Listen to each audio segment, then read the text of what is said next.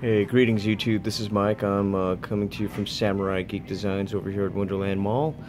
But uh, I just wanted to give everyone a quick little update on the Joker here. Uh, I'm gonna probably put a flat coat on this guy just to kind of give it a little extra protection. Uh, but uh, this guy is just about done. I have to put a couple of little details down here on his spats and then I found out I had just I actually have to glue his uh, flower on. But um, he is all set up ready to go to his owner now. Uh, i was expecting them on Saturday but uh, I'm glad they didn't come by because obviously I'm not quite as ready as I thought.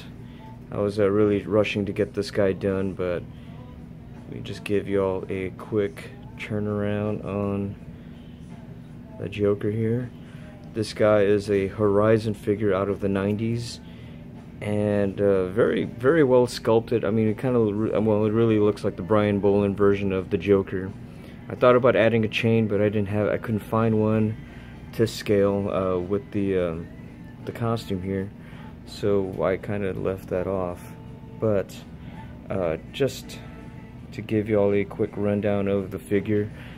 Probably should clean up that line right there on that. I just saw that, but I think uh, I don't know. I was uh, took a, took a while to get this one to look right, but uh, that wasn't the uh, fault of the kit. That was my fault because uh, I just had a, quite a few things going on. But I don't know if I can get all of the detail in his face there. Oh, there it is. I also turned down uh, some of the lights out here. Apparently, uh, there was one more guy out here who was uh, working in the shop and uh, pretty much shut him down.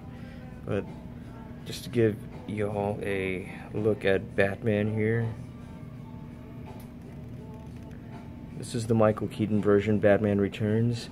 This guy is going home as well. I'm going to make a phone call, make sure that they uh, got my messages uh, let them know that these guys are ready. These guys are ready to be picked up.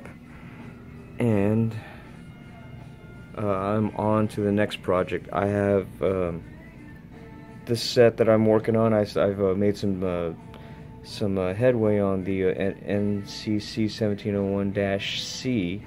Still have to put the refit together completely, get it all done, get the decals set up on it. But that's where I'm at on this guy. I also have a few more projects that I've got to wrap up, like uh, this Batman over here, and there's a Mega Man figure that needs to be wrapped up this weekend, as well as the Awesome Express out of Futurama. But uh, more on those guys a little bit later. But um, I'm going to wrap it up for the night. It's going to be 9 o'clock already. Everyone is closed out here at the mall.